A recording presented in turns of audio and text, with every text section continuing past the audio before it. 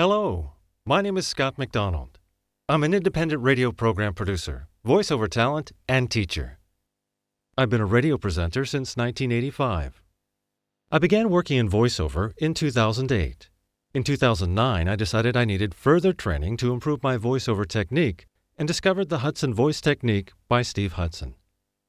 I signed up for the course and was very pleasantly surprised. In all my years working in radio, I realized something very important was lacking. Nobody ever taught me how to speak. That is, until I took the Hudson Voice Technique course.